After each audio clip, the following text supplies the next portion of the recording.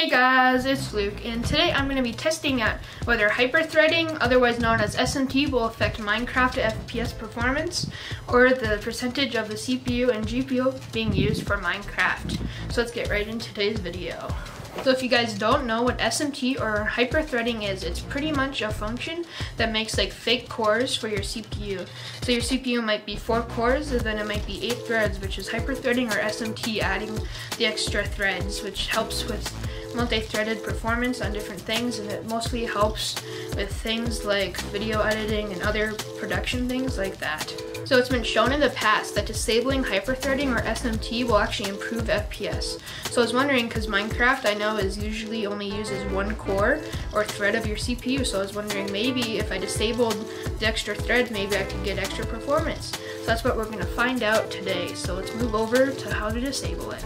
So I'm here in my computer's BIOS settings, and here we have SMT. So your computer's BIOS may look different, and usually I think on AMD products like Ryzen CPUs, usually says SMT since hyperthreading is technically owned by Intel.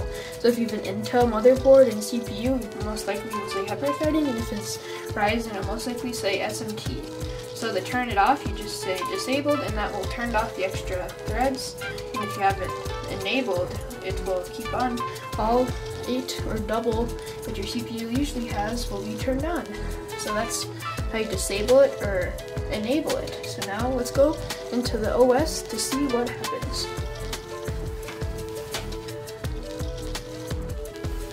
So as you guys can see, I'm playing the gameplay right now on the screen for you.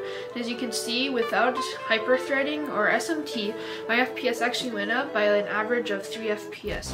So that could just be based on different circumstances, like different things running in the background on my PC. But it does seem like 3 FPS could be actually a difference based on the SMT, although it was not very big. So I probably would not disable it just because it makes the computer run better to not have SMT disabled and it could be different on your computer based on how many cores you have. Like if you have a 6 core processor it could be different from my 4 core or Ryzen 5 2400G. So those are results I got from my video. Hope you guys liked the video and subscribe if you liked it like I said before. So thanks you guys for watching and I'll see you guys later.